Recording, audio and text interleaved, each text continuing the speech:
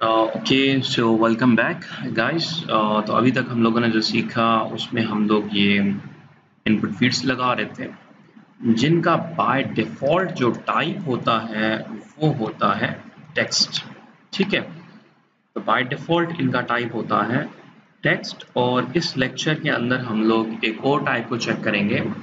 That is check box तो type होगा check box और चेक बॉक्सेस कुछ इस तरह के होते हैं। ठीक है? तो जिससे आप लोग मल्टीपल चॉइस क्वेश्चंस में भी आप लोगों ने देखा होगा, या मल्टीपल चॉइसेस को सिलेक्ट करने के लिए भी ये चेक बॉक्सेस यूज़ किए जाते हैं। तो अभी मैं क्या करता हूँ, अभी मैं यहाँ पर आके इसको ख़त्म कर देता हूँ और एक इनपुट टाइप चेक बॉक्स जो है, वो लगवा देता हूँ। और उसकी डेटा को एक्सेस करने के लिए मुझे इसको कोई ना कोई नाम देना पड़ेगा। तो इसको नाम दे देता हूँ ट्राम्स और इसको आईडी भी दे देता हूँ ट्राम्स ठीक है? अब आईडी का क्या यूजेज है, वो मैं थोड़ी देर के बाद में आप लोगों को एक्सप्लेन करता हूँ। और इसको मैं ज़रा रिलोड करता हूँ तो आप लोगों को सिर्फ़ और सिर्फ़ एक टिक मार्क नज़र आएगा। और अगर मैं यहाँ पर बी आर का एक टेग लगा दूँ और इसको रिलोड करूँ, ये देखिए टिक मार्क का इस पर और जैसे ही मैंने फॉर्म को रिलोड किया है तो यहाँ पर इस बॉक्स के ऊपर कोई टिक नहीं है। अगर मैं इस पर टिक करता हूँ और सर्च के ऊपर क्लिक करता हूँ तो आप लोगों को एक एरे नज़र आएगा, जिसके अंदर नज़र आएगा ट्रम्स जो कि मैंने इसका नाम दिया है। और इसकी जो वैल्यू आ रही है, वो आ रही है ऑन पर अगर मैं दोबारा से इसको बिना टिक किए सर्च के ऊपर क्लिक करूँ तो आप लोगों को एक एम एरे नज़र आएगा वो मीन्स के कोई भी डेटा ट्रांसफ़र नहीं हुई सर्वर तक after this method was called जो कि है पोस्ट ठीक है? अच्छा अब मैं चाहता हूँ कि ये जो टिक मार्क है, कोई ना कोई चीज़ भी मेंशन करे। तो उसके लिए मैं क्या करूँगा, मैं यहाँ पर लिखवा देता हूँ लच्छे के आई एग्री विथ फ्रम्स और इसको मैं रिलोड कर देता हूँ। तो अब आप लोगों को नज़र आ रहा है I agree with the terms पर अगर मैं I agree with the terms पे क्लिक करूँ तो ये जो बॉक्स है, वो चेक नहीं हो रहा। तो मुझे जो चेक करने के लिए यहाँ पर इसको क्लिक करना लाजम पड़ रहा है। ठीक है? तो ये चीज़ को अवॉइड करने के लिए हम लोग क्या करते हैं? हम लोग एक लेबल का टैग यूज़ करते हैं और उसके अंदर हम लोग लिखवा देते हैं आई एग्री विद टर्म्स और यहाँ पर इसको रिलोड कर देते हैं। लेकिन अभी भी ये काम नहीं करेगा। इस टेक्स्ट के ऊपर क्लिक करने से मैं इसको चेक नहीं कर पा रहा। तो उसके लिए हमें क्या करना पड़ेगा? फॉर के अंदर वैल्यू देनी पड़ेगी। वही जो मैंने आईडी के अंदर दी है। तो मैं ये वाली जो वैल्यू है वो यहाँ पर आके पेस्ट कर देता हूँ और इसको सेव कर देता हूँ। और अब इसको रिलोड करते हैं और अब अगर मैं इस पर क्लिक करूँ तो देखें, मैं यहाँ पर क्लिक करने से इसको चेक और अनचेक कर पा रहा हूँ। ठीक? अच्छा अगर मैं चाहता हूँ कि जैसे ही मैं इस पेज को रिलोड करूँ तो उस वक्त यहाँ पर जो डेटा है वो चेक्ड आए कोई एक चीज़ तो उसके लिए मैं इसको एक नई प्रॉपर्टी दे देता हूँ चेकड की तो इसको सेव कर देते हैं। अब मैं जैसे ही रिलोड करूँगा तो बाय डिफ़ॉल्ट ये जो चेक बॉक्स है वो चेक रहेगा।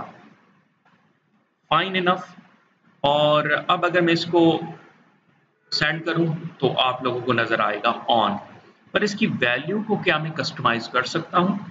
तो जवाब है यस इसकी वैल्यू को हम लोग कस्टमाइज कर सकते हैं। वैल्यू को कस्टमाइज करने के लिए हम लोग क्या करते हैं? एक और इसके अंदर फ़ील्ड या एट्रीब्यूट डाल देते हैं वैल्यू का। और वो वैल्यू के अंदर हम लोग कुछ भी लच्चे पेस्ट करवा देते हैं।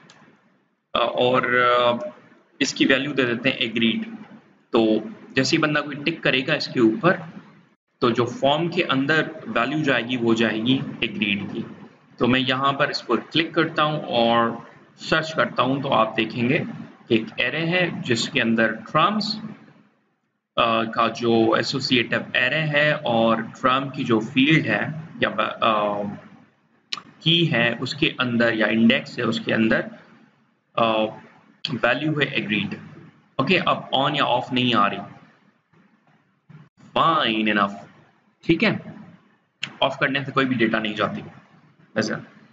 ओके अब जरा ना एक, मैं और चीज़ कर देता हूँ कि यहाँ पर एक से लेबल कर देता हूँ और यहाँ पर एक क्वेश्चन पूछ लेता हूँ और वो क्वेश्चन होगा कि what fruit do you like? ठीक है? और मैं उसके कुछ ना कुछ इसको इनपुट फील्ड्स दे देता हूँ, यानी कि ऑप्शंस दे देता हूँ। और इनपुट फ़ील्ड होगी चेक बॉक्स उसमें नाम इसका लिख दें। अच्छे आईडी दे दें इसका फ्रूट और उसका नाम दे दें फ्रूट वन और उसकी जो वैल्यू है, वो आप लगा दें। अच्छे मैंगो और साथ ही साथ मैं इसको कॉपी कर रहा हूँ। और कॉपी करने के बाद मैं इसको दोबारा से पेस्ट कर रहा हूँ और इसी तरह से तीसरी बार भी पेस्ट कर रहा हूँ। और इसको दे देता हूँ फ्रूट टू इसको दे देता हूँ फ्रूट थ्री का नाम। और यहाँ पर लिखता हूँ बनाना एंड यहाँ पर लिख देते हैं ऑरेंज ओके तो तीन फील्ड्स हमारी बन गई और इसको मैं ख़त्म कर देता हूँ। और यहाँ पर लेबल लगाने की वैसे ज़रूरत नहीं है। लेबल इन इनपुट फील्ड्स के साथ लगाऊँगा तो फ़िलहाल। अच्छा तो इनको मैं पी टैग के अंदर इनक्लोज करवा देता हूँ। और ये मैंने लगाया पी टेक और कंट्रोल वी और इसको सेव कर दें, इसको मिनिमाइज कर देता हूँ, इसको रिलोड करते हैं तो ये हमारे पास करंटली नज़र आ रहा है। लेकिन ये टिक बॉक्स किसको रिप्रेजेंट कर रहे हैं, वो मुझे पता नहीं चल रहा। तो उसके लिए मैं क्या कर देता हूँ? उसके लिए मैं लेबल लगा देता हूँ और लेबल लगा के इसकी भी आईडी वन कर दें। सॉरी इसकी भी आईडी वन कर दें, इसकी टू कर दें और इसकी थ्री कर दें। और लेबल फॉर कर दें फ्रूट वन और यहाँ पर लिखते हैं, मिंगो। और इस लेबल को ज़रा उठा के इनपुट फ़ील्ड के बाद रखवा दें। सेव करें रीलोड करें। अब यहाँ पर मैंगो आ गया। उसके बाद एक ब्रेक कर दें। और यही कॉपी करें। इसको यहाँ पर आके पेस्ट कर दें। और मैंगो के बाद हमारा था बनाना और बनाना के बाद ये होगा हमारा फ्रूट टू और यहाँ पर आ जाएँ, और ये होगा हमारा फ्रूट थ्री और ये होगा ऑरेंज ऑरेंज और इसको सेव कर दें, इसको रिलोड करें। तो मैंगो बनाना या ऑरेंज अब इसमें से अगर मैं इस पर क्लिक करता हूँ, और इस पर क्लिक करता हूँ सर्च करता हूँ तो आप लोगों को नज़र आएगा फ्रूट वन के अंदर मैंगो फ्रूट थ्री के अंदर ऑरेंज यानी कि मैंने दो चीज़ें जो है वो सिलेक्ट की हैं। एक फ्रूट वन और एक फ्रूट थ्री फ्रूट टू मैंने चेक नहीं किया। तो इस तरह से इनकी जो वैल्यूज़ हैं वो एक्सेस कर सकते हो। और दूसरा तरीका ये है कि आप जो ये फ्रूट है, उसको आप लोग एक टेबल बना लो।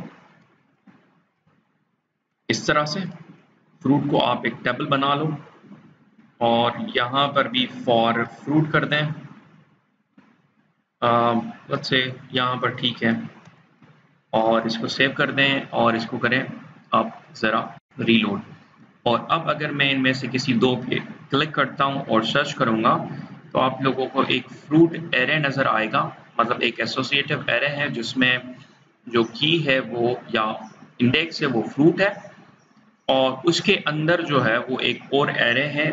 मतलब ये फ्रूट उस एरे को रिप्रेजेंट कर रहा है जिसके ज़ीरो इंडेक्स के ऊपर मैंगो है और वन इंडेक्स के ऊपर बनाना है।